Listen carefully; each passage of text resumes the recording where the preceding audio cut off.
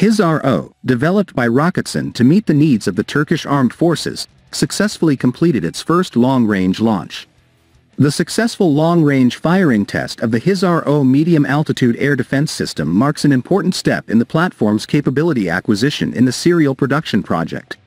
Making evaluations following the firing test activity held on August 14, 2024, President of Defense Industries Professor Dr. Haluk Görgün made the following statements. With the power of our national engineering, we are also strengthening the technological shields of our skies.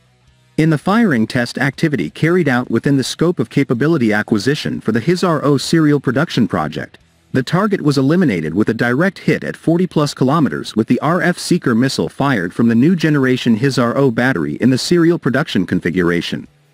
At the same time, Görgün's statement, within the scope of the HISAR serial production project initiated by our presidency, we have brought performance-enhancing updates in the fire control, command control architecture, transition to IP communication infrastructure, new generation radar capable of detecting the target from a greater distance, advanced guidance control software within the scope of the missile and long-range maneuvering capabilities to the HİSAR-O systems, drew attention.